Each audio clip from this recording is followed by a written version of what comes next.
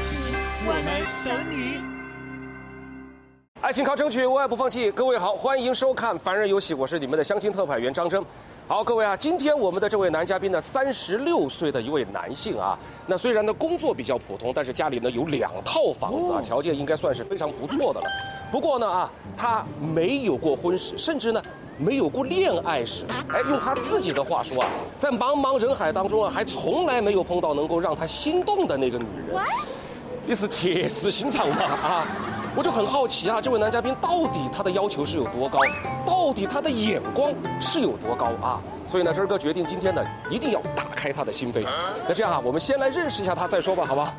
大家好，我叫朱红，今年三十六岁，身高一米八，嗯，工作是保安，工资是三千五，现在和父母住在一起。虽然我的工资不高。但是没得负担的，我的爸爸妈妈也有他的也有工资，嗯，不需要我负担，住房。平时我的开支也比较少。本期交友男嘉宾朱红，三十六岁，身高一米八零，职业保安，月收入三千左右，婚姻状况。性格是比较内向的一种，平时下下班也不经常外出，喜欢待在家里面听儿歌，下象棋。平时我的圈子比较窄，下班就回家了，社交朋友也比较少。他有点呐，那些孝心那些是好啊，家来了他还是喊了打招呼啊。嗯，或者他个人衣裳洗啊，他也洗得干净。他个人的个人的饭呢，他还是煮得好。有时间我们给他，他把饭给我们煮起啊。他不喝酒不抽烟的娃儿，他都是，他一一样的跟我们一样的嘛。反正我们老的都像我谈不成心了，他也口才上还有点差异。文凭上他还是高啊，他读的中专的大专的。他本来这会儿的工资都挨的干，两三千干，但是他两三千三千多点儿。但是他三千多点儿，他是样式保险那些什么一走啊的样式个的，他哈多踏实一个人呢，他都是我们家人，反正都是个老实人，都是老老实实的个。车那些他实际学了考了的驾照些是拿的，拿的。这会儿呢也没买，只是说要买呀也不成问题，反正都说。虽然我三十六岁了，但是我的恋爱经历几几乎是零，也相过亲，但是都没有成功。因为可能是因为我的性格的原因，也没遇到心动的女生儿，也没遇到适合的女生儿。他平时是正儿八经都没有遇到过让自己喜欢的吗？他遇到过了嘛，人家没干过。他以前年轻的时候没有想起耍。那哈儿，他说迟点啊，在后头耍耍的，他说我不想耍朋友了。他这又想起来个，他看到那个个，他说是现在些女的。头的人他跟我说，那些女的不得了。嗯。我都听他谈个啷个。我哪谈啷个不得了啊？你没谈喽？没有。他说啊哈儿那事，他说我们没得房子的，他说都不耍那那个事儿话，他说不要让人家别个来那个哈，没房子住不好的。他说，好后头有房子了呀。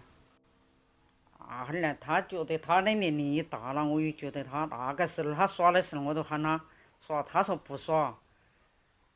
别个人家女娃儿来，他见都不见别个哦。出去吃顿饭了，他都回来了，还喊他去耍呀，他不去呀，人家说早了。我跟你说啊，哈儿没有去上班儿了，个介绍起来的人家。好，我们那个干亲家也跟他谈一个来。谈那一个，我们那来耍一个礼拜，二来没买房子，二好后头啊，他有点看淡那种感觉了我他都不耍了呀。好不耍了，他又在北京里打工，打工呢那个时候我们都我的说跟他谈呢，他都喊我们不要说，他说现在这个社会，引得我的说，骗咋不骗嘛？你也不晓得好歹，他说，他都向我们谈，我们说都不说。他都转来，他都啷个整啷个的。现在房子啊，账是没拉没事，账还是没拉。我们那边呢还有套房子，有套房子啊，当样式都落实好了，只能当三年以前反转到期起。年轻的时候觉得自己没有房子，条件差，所以一直没有安心的去寻找另一半。现在家里已经有了自购住房，男嘉宾也没有了后顾之忧。那么现在的他想要找一个怎样的另一半呢？我的另一半要求是年龄是二十八到三十九岁之间，离过异的，有小孩儿带是女孩儿也无所谓，带男孩儿的都不接受。我对外形和身高没啥子要求的，我对对方的工作收入没得要求的，只想找一个，嗯，年龄已到那个阶段了，我想找一个踏踏实实过日子的。希望对方个性不要太内向，想找一个少点的。那个尽量的看，看有没得负担得起，没得看尽量的。如果说没得，当然有个妹儿呢也可以。那种就接受嘛，比他大个两三岁，但是没有结过婚的。两三岁没啷得噻，大三岁有了哇，女大三抱金砖了嘛，些说的。抱啥子金砖了？哦，反正也没啷得。大概两三岁的话，也没啷得。我说的话哈，我肯定很高要求，不然他早就结婚了。男嘉宾的择偶要求：一、年龄在二十八到三十九岁之间，离异带过的是女儿的都可以接受；二、对外形、身高、工作没有要求，真心过日子即可；三、不要太内向。这个今天那个男嘉宾给他匹配对象的过程当中，我觉得有个问题。嗯。他说他三十六岁了，从来没遇到过让自己心动的女生。哦。啊。就看他要求很高，眼光很高哦。哎，但是他要求也不高啊，他都觉得都是踏实过日子的就得行了。嗯。我觉得首先第一啊，三十六岁没有遇到过心动的女生，这个里面肯定有一定的水分。嗯。哎，就是完全没有过，我觉得不可能。另外一方面，就说明可能他就是理想当中的那种类型，和他现实生活当中所接触的可能差距比较大，所以他一直。就是可能觉得没有办法让他心动啊，这是第一个。第二个，我觉得呢，还有一个就是他他始终没有走出过第一步，他可能就会有一些惰性在里面，而且单身久了以后，他有有时候可能就变成了一种习惯了。呃，他没有去走出这第一步呢，他也不知道爱情到底会带给他什么。所以我觉得最重要的是，第一。我们当然要好好的帮他来选择适合他的，在这个年龄阶段跟他的这个性格特点比较符合的。第二，我们要给他信心，我们要让他不单是来报名参加我们的节目，同时在相亲的过程当中要更加的主动，要更加的勇敢，让他把这第一步迈出去。那行，根据那我还是根据他的要求再去找一下。辛苦了，辛苦了。大家好，欢迎收看今天的凡人有喜，我是情感观察员智慧。今天的男嘉宾一米八，个子挺高大的哈。然后呢，他是一名保安，虽然工资不是很高，但是呢，他是很踏实的，也很善良。嗯，但他说到他从来没有谈过恋爱，三十六岁了，这一点我倒是蛮好奇的。其实同样有一些男生呢，工资也不是很高，但是他也有一些情感的需求，也会主动去跟女孩交往啊。好，在这个过程中，我在想，会不会是他的那个，就是有时候特别内向啊，或者是说呃不善言谈呐？是不是在跟女孩交往的时候，情商是不是会有一点欠缺呢？导致他单身至今，而且从来没有谈过恋爱，这一点我是比较好奇的。那究竟男嘉宾这么多年从来没有谈过恋爱的原因是什么呢？也许在今天的相亲节目中，我们可以略知一二。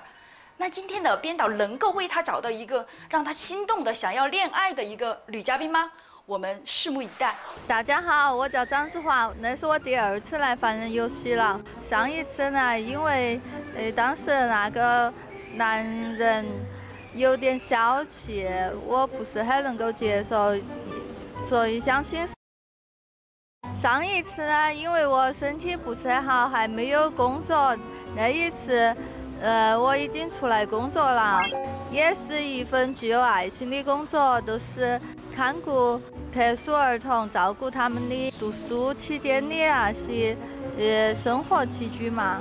本期热舞女嘉宾张志华，四十岁，身高一米六零，职业特殊看护员，月收入三千元，婚姻状况未婚。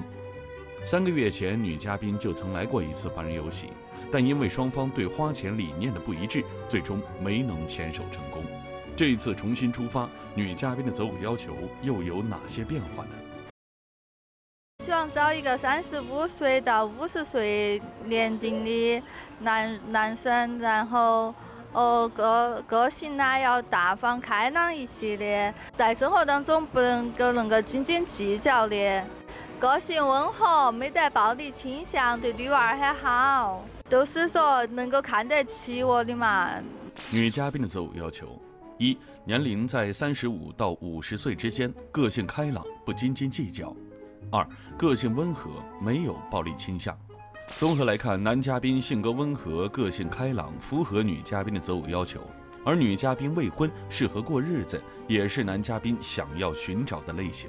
两人匹配指数百分之八十，今天的相亲能够一帆风顺吗？好，我看到男嘉宾和他的妈妈，来，我们把他请过来，欢迎欢迎欢迎。到不到？那今天如果我们介绍给你的女嘉宾，你第一眼看到她仍然没有那种心动的感觉，怎么办？你可以谈呐，反正只要他不，啊他没得其他要求了，就可以谈了。没嗯嗯嗯。接下来我们就要去见女嘉宾了，啊，有没有什么想法？怎么见？啊，有你想怎么和他见面我不晓得，没有没那个过。啊？好吧，反正都是实打实的，对吧？啊，他呃很老实的老实人，踏实人，那我们就直接见面吧，好不好？啊对，那女嘉宾已经到了啊，待会儿呢我就带你过去一起来见女嘉宾，好吧？好。嗯。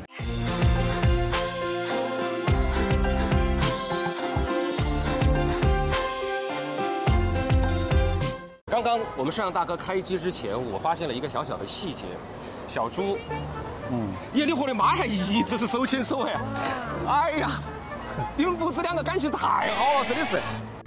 你说到那点，我其实突然想到一个事情，你儿子一直不耍朋友，亮亮是不是你把他平常管得太多了哦？我没管你是不是舍不得他哟？我没随便，这是因为是我老二的同事啊，呃，来吧，我们现在站在这个地方，一个是躲太阳，第二个是因为女嘉宾就在我们面前，嗯，呃，我们先远看一下，我们再过去认识，好不好？来吧，姜还是老的辣嘛，阿姨，你你先点评一下，感觉怎么样？感觉好，嗯？看他背影来可以，还有我说，嗯，哎，很朴素，像不像是过日子的？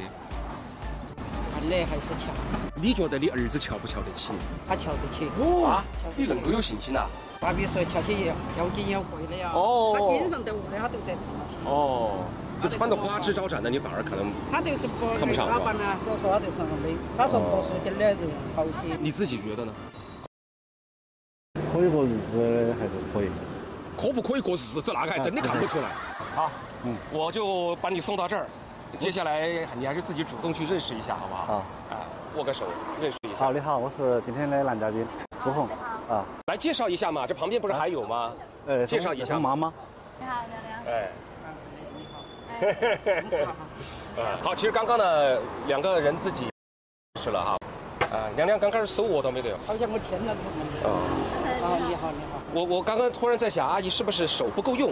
因为刚刚走过来的时候啊，阿姨的手一直握着自己儿子的手。你 要是那个时候再把他的手牵过来的话，哎，说不定他们缘分都凑到一起了，是不是啊？来嘛，我们让两个年轻人站到一起嘛，要不要得？啊，来来，你们站到一起来。那接下来你看，咱们先吃饭嘛，这儿这个点儿了。啊啊，啊，都饿了。好，到哪儿吃？你你喜欢吃啥子？呃，中餐吗？火锅？都可以，中餐火锅都可以。走吧，嗯，走吧，走，走吧。一起噻。你问那个话的意思是说我们一起吗？还是不一起嘛？我对男嘉宾的印象还是不错，哦，打得到八九分儿。他身高那些都多高的，然后都是肚子有有有点儿大，没得啥子太大的问题，所以说还是可以打个八九分儿嘛。我对李嘉宾的长相打十分儿。哎呀，反正我的要求又不高嘛，反正还是那个，还是比较温柔。嗯，比较。见面之后，男女嘉宾对彼此都很满意，纷纷打出了高分。那么，通过接下来的深入聊天，两人的感情还能够继续升温吗？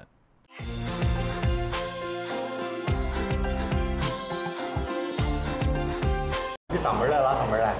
我在一个学校，学校当老师啊？呃，助教。嗯，自理就是自闭症啊那些娃。哦。哦，相当于你是在那里面上班儿哦。嗯，看来还是。升学的压力的。哎，我当保安，保安工资比较工工资比较少，三千多点。你是周末双休，哎，我也是双休。哦。那你平时不是一天干一天休息一不，我是我那个是一直星期五都上班儿，一到星星期六、星期天就休息。哦，你们是哪种类型的保安？他都是那个在推广所以前以前那个那个推广所呀，他现在没做业务了，我们人比较少，就几个人，工作比较简单。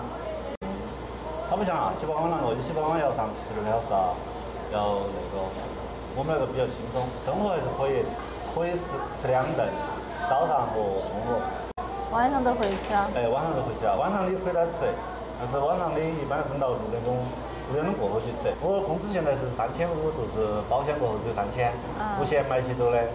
那工资你介不介意？不是能够看得中。哦。现在我跟妈跟父母住在一起的，嗯，房子啊是全款，没得妈老父母没得负担得。哦。其实平时我的开销也比较低，都没我又不抽烟不喝酒，基本上没有啷个那个，有时候就打二盘。偶尔打二盘，都不是都没得那么一点儿的。我平时写点字啊那些，看书啊那哎，毛笔字。写毛笔字啊？哎。耶，那好。那除了写字啊，然后没啷个兴趣了的啊？啊，唱歌算不算嘛？唱歌啊？嗯。在 KTV 唱歌吗？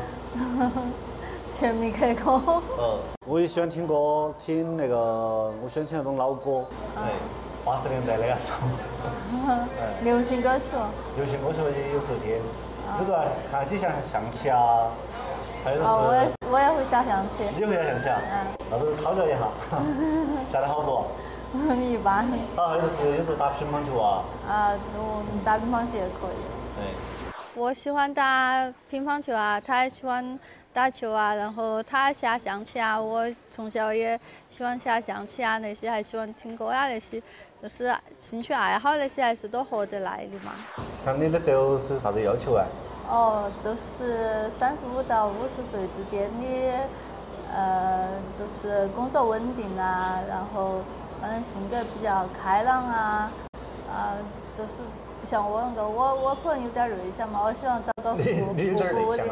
有找个互补的。哦，我是个也稍微有点点儿内向，但是现在还是那个遇到那种合得来的还是会说话，还是有话谈。嗯，但是呃，我反正表达不是特别的有表达欲望啊那种。哦，虽然我性格不是很开朗，但是我还是可以带动他一起互动。还有啥子要求没得？就是要有爱心啊，喜欢猫猫狗狗啊那些噻。喜欢猫猫狗狗啊！我以前喜欢猫，喜欢猫，喜欢那个。还有不抽烟不喝酒啊，那不酗酒啊那些，不不打女的啊，都是呃比较体贴啊那些噻。我还是不抽烟不喝酒，基本上合适，基本上符合你要求。一年左右那种，只要聊得来的话，我们一年之内结婚的，比不比较接受？还是可以。坐下来之后，两人从工作情况聊到个人爱好，甚至还聊到了结婚。一旁男嘉宾的母亲也加入了聊天，为儿子助攻。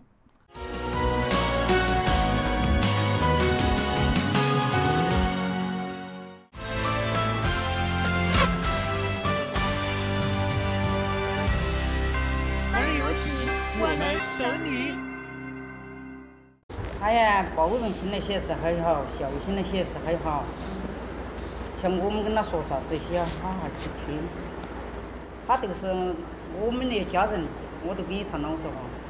他可能一点儿像我们也谈不得些啥子。嗯，说白了，天都是老实人。因为我跟他们老汉儿啷个过啊，你都晓得，他们老汉儿也是个老实人。我觉得他很好的，我遇到他。他不是恰些那个这么狼的花心男哈，这么狼的。因为我我是看我本人哈，我是遇到那种虚华的男人，了我觉得还不舒服。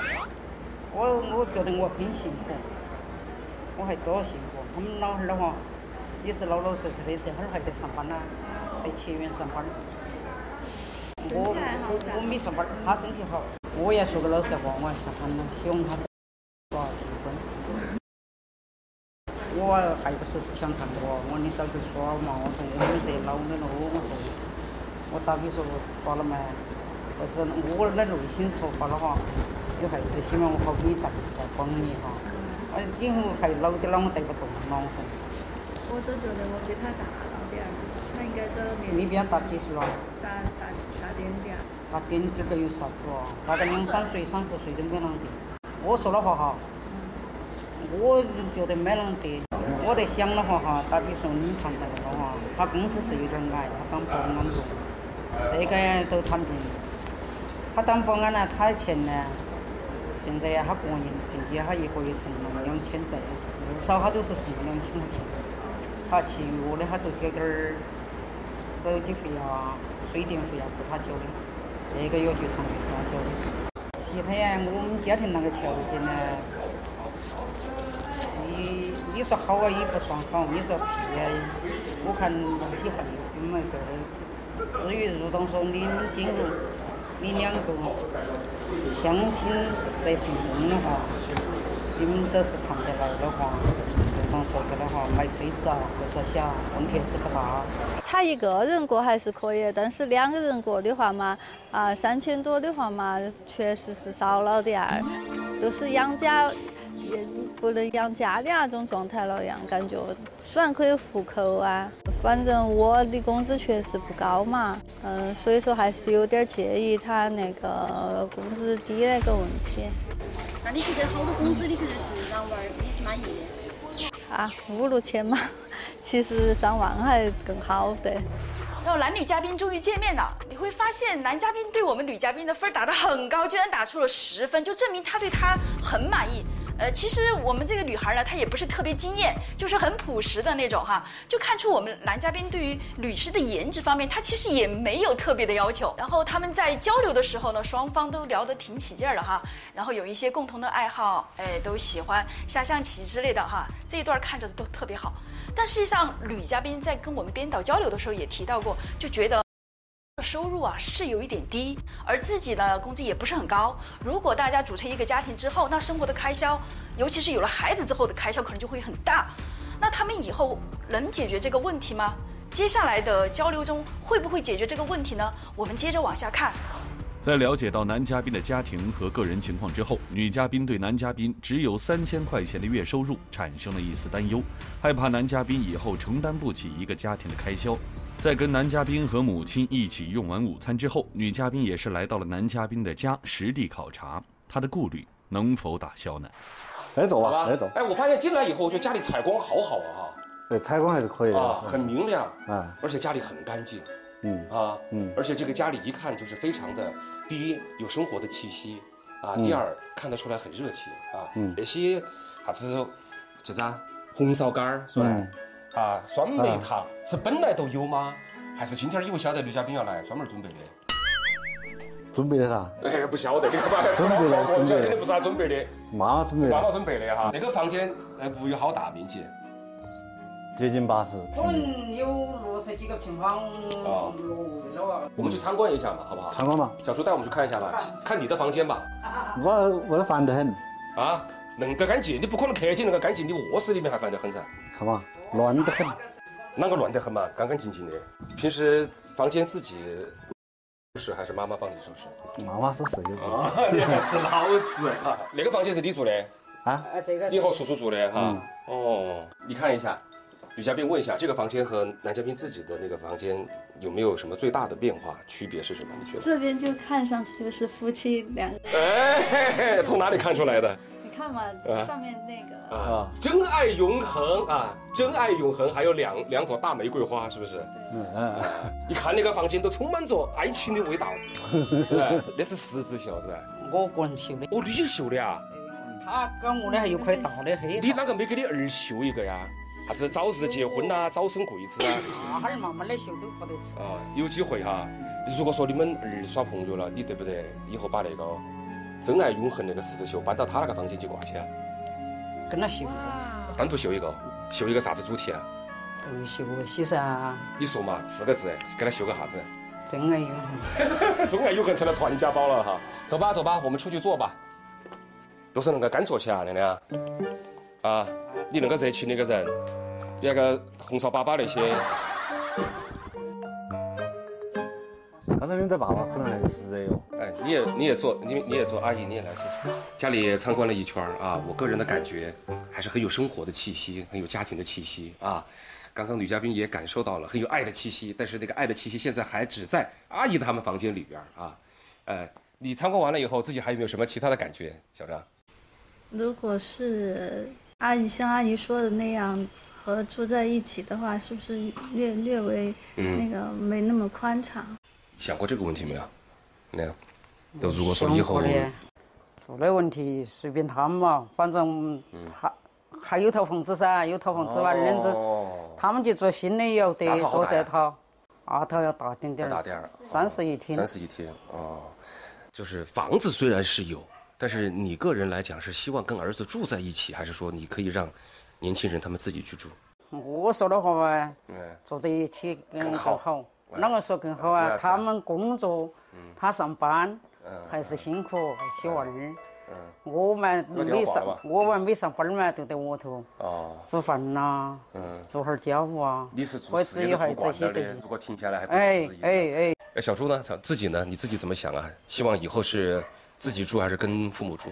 跟父母住肯定要那个些噻，回去偷哈儿懒儿噻。嗯，你是怕从来都没有个人杀铁过屋哈？杀铁锅的，还是他因为妈太能干。他个人跟我，他个人杀铁锅。那杀铁啥子嘛？他妈地下呀，那些啊。好嘛好嘛，我相信嘛。喊他妈呀，不是相信呢，喊那个要喊。小张怎么想这个问题？其实家务也没那么多。嗯，就是家务也没那么多的话，就是阿姨应该多多享福哦，哎，你们说话老是说的那个客气，都是那个最后啊，那个说破的那一句话，那个坏人都要我来做。他意思是说，喊你个人回个人屋，他们个人住，他来杀铁，不要你操心。那就好嘛，天天坐在一起嘛，我我只有回去想儿子了哈。嗯，哎，就说到这个地方哈。就是刚刚我随便问了一下女嘉宾的感受，引出来关于以后在哪儿住的这个问题，这个问题其实相对来讲还好解决，但是呢，我隐约感到感觉到今天还有一个问题，你们也是同样没有把这个问题说破，也没有把这个问题拿到台面上来讨论，所以刚刚在上来之前，我刻意我特意的和女嘉宾在楼下聊了一下，聊了聊这个事儿，啊，那这个事这个事情是什么事情呢？就是关于这个家里面。传宗接代、延续后代，哎，你抱孙孙的事情，哎，啊，是我责任了吗？这个问题今天其实你们一直没有当面把这个问题拿出来讨论。刚刚我跟女嘉宾在下面简单的沟通了一下，我也给她一个建议，我觉得她现在应该上来以后参观完了以后啊，和你们一起把这个问题拿出来也讨论一下。如果真的有小孩的话，那个。呃，经济上的话，那那个靠我们两个人的话，可能现在还不能承担那个抚养小孩的那些责任或者义务之类的。肯定小孩还是要要。嗯，经济方面呢，工那个可以慢慢的再来嘛，反正现在还年轻嘛。经济方面可以慢慢再来，这个过程有多久？你这个里面本身就存在着一个问题，我跟你讲，小朱。反正因为我今天在这个地方就是来帮你们发现问题、解决问题的。孩子一旦出生以后，孩子不等人的，那每天都要张嘴的，每天都要吃奶的，每天都要尿不湿的。你刚刚那句话我听了以后就有点不对的是，你说慢慢再来不着急，那他怎么不着急？着急。养个娃的钱还不有哦。嗯，钱从哪里来呢，阿姨？不想不不想要老老人来那个负担的话，那老人的不是他的该，是哪个娃上？嗯，我用的多多啊。小朱，小朱，你大概有没有一个概念？就是现在你觉得一个普通的家庭，如果说有一个新出生的小孩，大概花费是多少？从小孩到大，起码要两百万。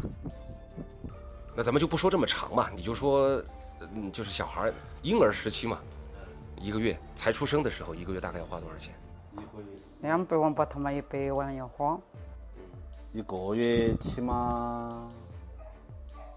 我也不晓得奶粉钱那些。三千块钱够不够？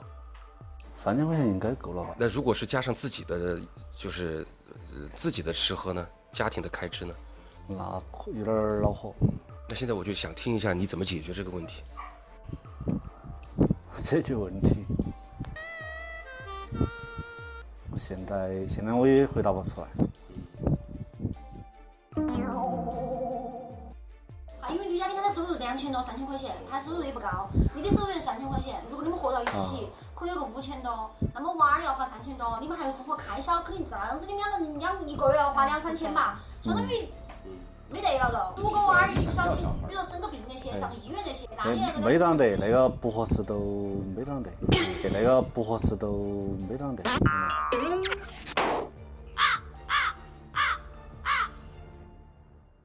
没准备的，还娃有准备哦。啥子准备？没准备那个吧。实话哈，我看得出来你儿子现在有点不高兴。没啊，很明显，我跟你讲。我相信镜头前面所有的人都看得出来，你刚刚跟你妈说话的时候那个语气，重庆话说就都是在伤她了，而且你刚刚还说了一句比较消极的话，说不合适就算了，所以我才告诉你，这是不管谁，今天是小张还是明天是小李，都会放在台面上来讨论的问题。那你如果是用这个逃避的态度或者消极的态度，那这个问题就得不到解决。当时那种情绪，我是，反正，哎呀，反正不不晓得啷个去。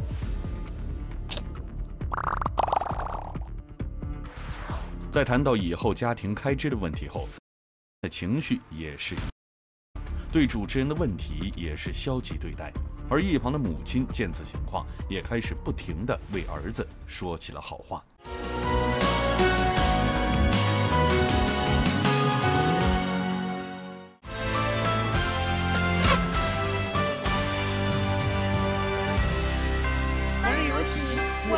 等你。我都说可能没问题的，搞完了。嗯。我觉得的话哈。那钱从哪儿来？我还是那句话。钱嘛，趁你有钱噻。你有钱是不是？反正有点儿不多。啊，那未必全部靠你的钱呢。他也不是全部靠我的钱，他不上班嘛，他还要给我做噻。那以后开销更大哟。他还是想找钱，他人家平时还是公啊都摆的。聊到这里的时候呢，有一个比较尖锐的问题了，那就是这个经济怎么办？我感觉之前男嘉宾好像从来没有思考过这个问题，可能父母把他照顾得太好，也没有让他自己去面对过成立一个小家庭这些经济上的这种负担，所以他就拒绝。我就不想思考，那就这么着 吧，好像感觉就是你来挑剔我啊，我不高就算了。但实际上，可能我们更多的可以从自身上去找一下原因。如果我现在收入不行，那我应该怎么努力？第一步怎么样？第二步怎么样？我可以干更多的工作，兼几份职吗？哎，还是我要去提高一下，怎么怎么哈？就是有一些规划的话，可以对于一个家庭来讲，他就一步一步的这么走，就慢慢的就会有进步。在今天的婚恋市场里边，有些男孩就会说：“哎呀，就是这个女孩太物质了，看不上我，觉得我经济条件不行。可是经济条件不行，我们是可以改善的，通过我们自身的努力是会越来越好的。我们一定要有这种规划才行。”嗯，如果我们靠父母的话，是靠不了一辈子的，因为父母他们会渐渐变老，当他们老了的时候，走不动的时候，我们要成为他们的依靠，哈，这这样才行。所以我觉得每一个年轻人都应该要树立，就是自立自强，哈，要不断的为这个小家庭去创造一些财富，这也是我们成立一个家庭它的安全感所在。反正你个人要有担当，作为一个男人，你要家庭那个担担当起走，反正。大家都努力支持啷个？嗯，我看我经过我们的话，我跟他们老汉儿啷个的话，那个时候白手起家干还不是？经济问题，那儿只有努力噻，努力挣钱噻。现在像平时都可以跑点外卖，哎，挣点零用钱。就是现在本来周末都在在跑跑什么跑外卖啊？这都在跑了，一天七八十块钱。现在跑外卖一天才七八十块钱。他跑没跑去十二点的话不止哦，跑跑那个是中午到下午个嘛。他等这会儿上家的班儿了。嗯，没想到他现在已经在开始跑外卖了。如果再跟他洗压的话，相信他还是很很会上进的。我还是相信他有自己的办法可以克服的，只是我可能就属于拖后腿的那种了。当然，我觉得有一点我是必须也要明确提出来的啊，养育孩子，绝对不是说某一个人或者家庭里面某一个成员、某几个成员的责任。当然，我觉得作为女人来讲，我一直觉得现代女性又要当妈又要工作很辛苦。对于女人来讲，已经付出很多了，还要去外面打拼去工作，很辛苦，但是我们普通家庭就是这样子的。我们绝大多数的家庭现在也都是双职工的，对不对？所以未来经济上面也不是说只是你的男朋友或者你的未来的老公他一个人的责任，你同样也要参与在这个过程当中。这一点你没有异议吧？没有啊，所以讨论这个问题的时候，也不能说把所有的问题都抛给男嘉宾，你怎么办？你要出去给我多挣钱啊？抛给婆子妈，哎，你怎么办？你有多少积蓄拿出来？你同样也要参与，对不对？你也会尽力的。呃，刚才在他们家里面探讨了些问题，然后给我的感觉是他们的家人都很实在，然后呃都是老实人，然后呃尤其是他的父母，呃愿意为他的儿子付出很多，哦，那也是很难得的。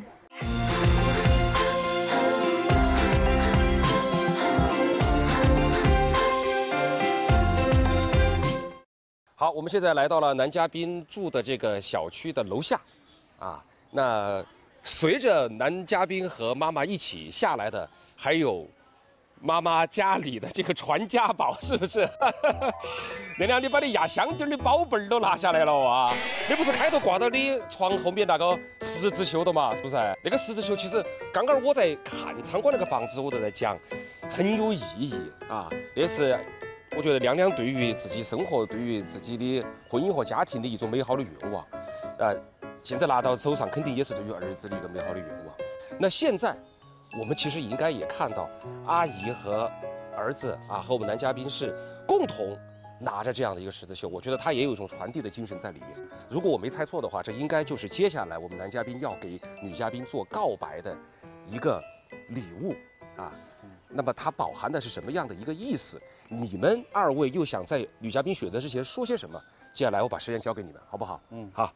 妹妹，你如当说你们两个耍得成牵手成到公了哈，你到我们家里面来，我还是会体贴你们。如当说你们上班辛苦了，我只在屋头承担家务，孩子像有小孩那些啊，我都带。给你们洗衣服些我都要得，煮饭啦，哎，你们供我一下更好。如果说你不供我一下呀，是你们的选择，你们随便你们，啊，这是我当老的，是我应该做的这些责任。嗯，随便啷个大事小事，反正我包容得下。今天和你相亲那个认识啊，我很高兴。嗯，不是你说那个问题呢，我现在可以给你回给你回回回复。你说那个是小孩那个问题，嗯，我愿意跟你一起承担风险。嗯，你愿意吗？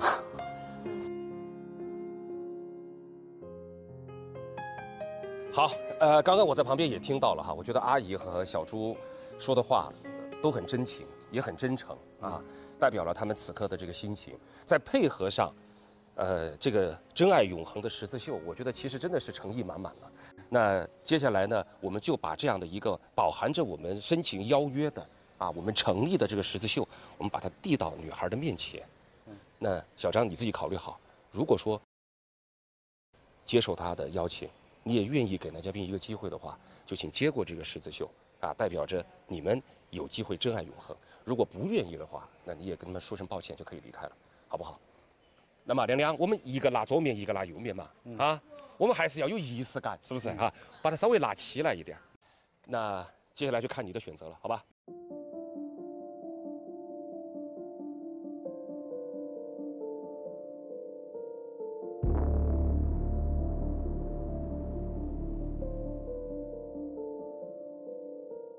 好，最后我们看一下女嘉宾的选择，三、二、一，来，请选择。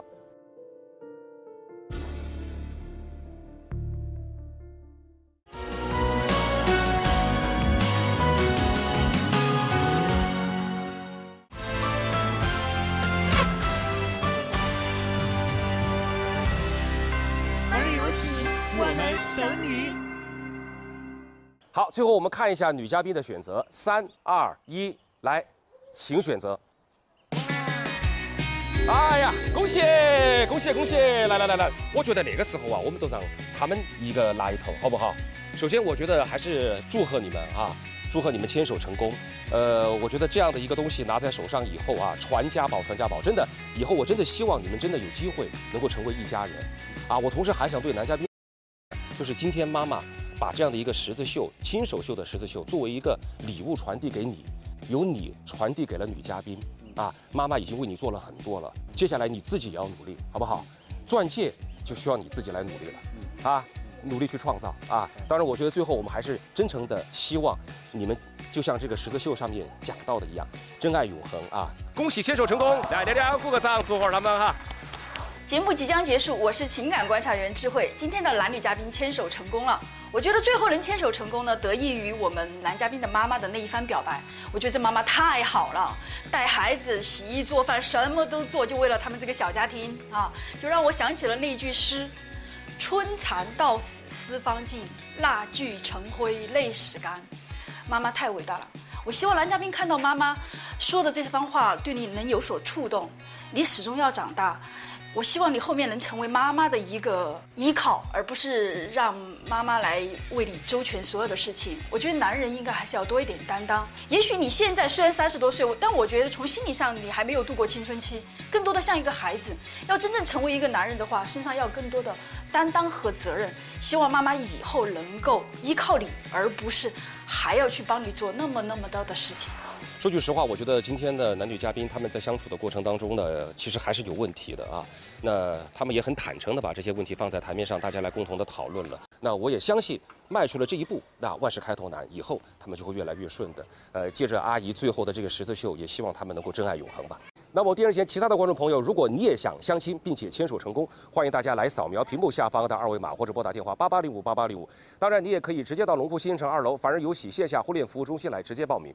好了，爱情靠争取，外部放弃。感谢你的收看，那么我们下节目再见吧，拜拜。好多蚊子哦，好惨呐。